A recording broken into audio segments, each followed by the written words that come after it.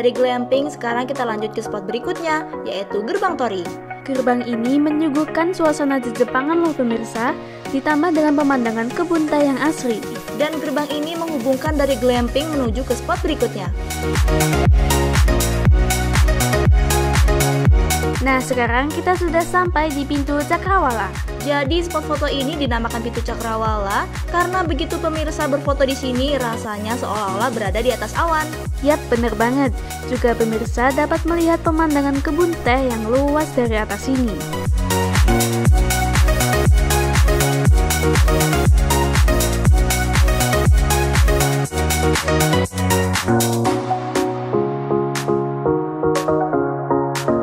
Nah, sekarang kita berada di spot MDPL. Jadi di sini pemirsa dapat mengetahui bahwa Sirah Kencong khususnya di spot ini berada di ketinggian kira-kira 1179 meter di atas permukaan laut.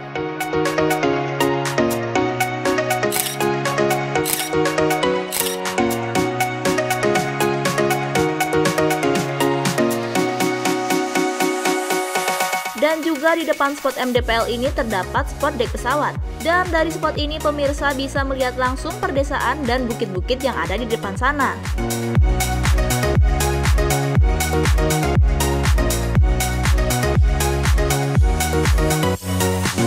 Dari spot MDPL dan dek pesawat, sekarang kita turun ke spot I Love Ken dan spot Cinta. I Love Ken merupakan singkatan dari I Love You Sira Kencong. Dan dua spot ini yaitu I Love Ken dan spot cinta pastinya sama-sama bermakna tentang cinta. Dan di spot cinta ini pemirsa dapat duduk santai sambil berfoto.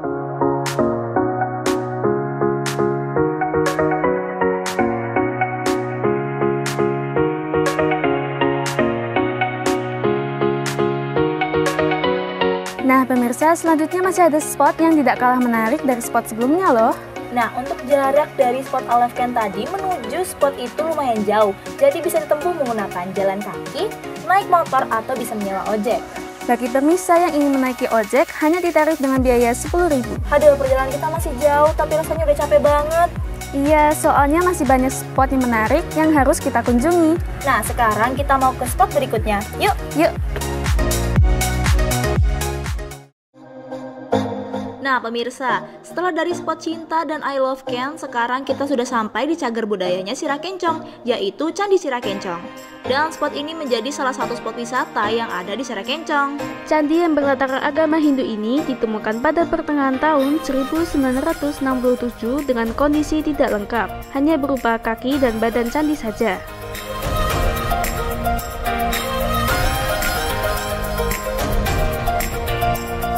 Nah pemirsa, sekarang kita sudah sampai di area The Gitar. Dan ini adalah spot yang paling populer dengan bentuk khasnya yaitu gitar raksasa. Bener banget, pemirsa dapat menikmati hamparan kebun teh yang sangat luas dan berbentuk layaknya labirin. Oh iya, dan juga di area atas sana terdapat tempat camping loh. Tepatnya di area tulisan cerah kencong atas. Nah pemirsa, untuk akses menuju ke sana, pemirsa dapat menaiki mobil, motor, ataupun jalan kaki. Nah, gimana nih pemirsa? Banyak sekali bukan spot-spot yang menarik? Ikutin terus perjalanan kita.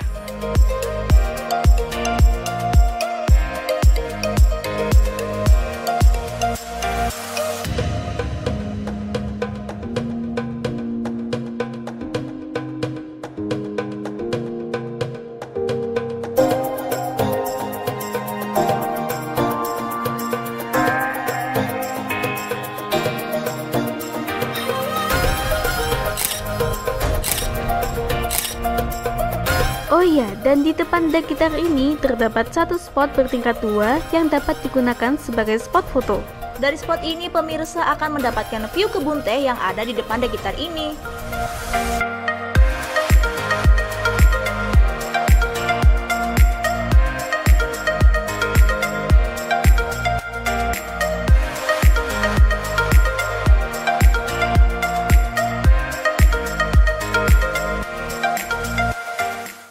Nah, setelah dari spot deck gitar, sekarang kita beralih ke spot air terjun.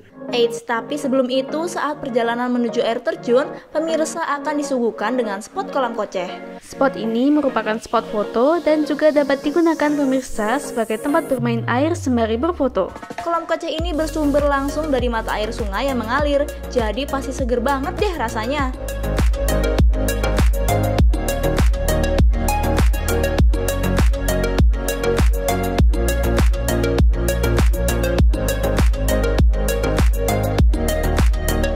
Pemirsa, sekarang kita sudah berada di air terjun. Nah, jadi di sini untuk biaya masuk air terjun pemirsa cukup membayar 6.000 saja. Yuk, sekarang kita ke air terjunnya.